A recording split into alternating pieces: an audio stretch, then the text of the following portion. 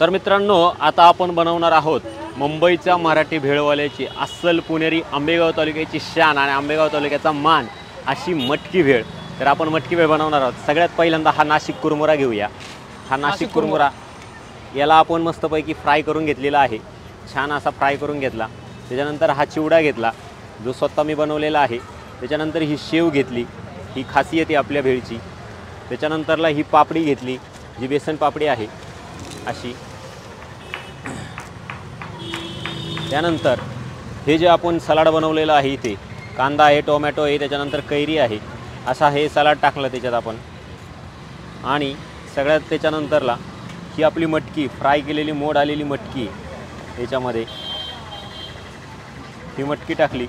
त्यानंतरला जसं ज्याला तिखट असेल त्याला तिखट असेल तर ही चटणी आपली लसूण चटणी. त्यानंतरला ही आपली कोथिंबीर. त्यानंतरला हे सलाड छान अशी ही गावठी काकडी आहे. उत्तम प्रकारे छान अशी एकदम नॅचरल शेतीमधून मागवलेली काकडी ही.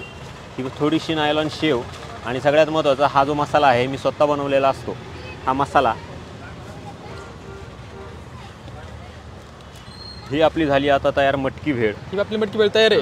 ही आपली मटकी भेळ तयार आहे. कितीला मिळते ही? मटकी भेळ तीस रुपयाला देतो आपण.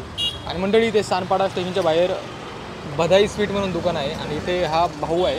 दादा नाव नाव काय आपलं? सागर गोरडे. सागल गो- गोरडे. गोरडे. अच्छा इथे छोटासा स्टॉल लावून इथे व्यवसाय करतोय मंडळी. आणि ही अस्सल पुणेरी मटकी भेळ आपल्याला किती रुपये बोलला? तीस रुपये. तीस रुपयाला मिळते. मंडळी जबरदस्त आहे.